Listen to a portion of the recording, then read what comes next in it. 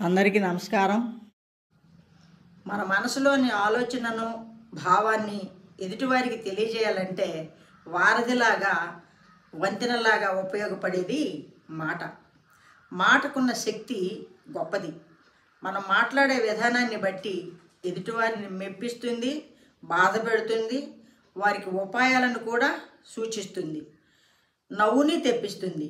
మాట విలువ తెలిసిన వారికే ఈ మాటల యొక్క అర్థం సమయం తెలుస్తుంది. ఒక అతను తాంబూలం వేసుకోవడానికి వెళ్ళాడు.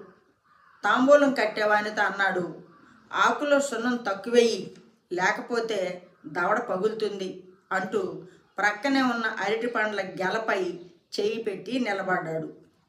వెంటనే తాంబూలం కట్టేవాడు ఏమయ్యోయ్ చెయ్యి తీ లేకపోతే పళ్ళు రాలుతాయి అన్నాడు. ఇక్కడ పళ్ళు రాలుతాయి అంటే అరటి పళ్ళు రాలుతాయని వాడి పళ్ళు రాలుతాయని రెండు అర్థాలు. ఇంకొక చోట ఒక వేడుకలో కొంతమంది కూర్చొని ఉన్నారు అందరూ మాట్లాడుకుంటున్నారు. ఒక ఆయన ఒక పెద్ద ఆయన్ని మీ వయసు ఎంత అండి? అని అడిగాడు. ఆ పెద్ద ఆయన ఏడు ఏళ్ళు అన్నాడు. అందరూ ఆశ్చర్యంతో ఒకరి ముఖాలు ఒకరు చూసుకున్నారు. ఎంత పెద్దవాడైతే మాత్రం ఎంత పరిహాసం ఆడతాడా? అనుకున్నారు. నిజమే చెప్పాను. నాకు ఏడు ఏళ్ళు అంటే ఏడు ఇంటూ ఏడు అంటే నలభై తొమ్మిది అన్నాడు. విషయం తెలిసిన అందరూ నవ్వుకున్నారు. ఒకసారి ఒక నిర్మాత ఒక కవి దగ్గరికి వెళ్ళి నా సినిమాకు ఒక పాట రాస్తారా? అన్నాడు. అప్పుడు కవి రాస్తారా? అన్నాడు. ఈ కవికి అహంకారం అనుకుంటా. నన్ను రా అంటాడా? అనుకున్నాడు.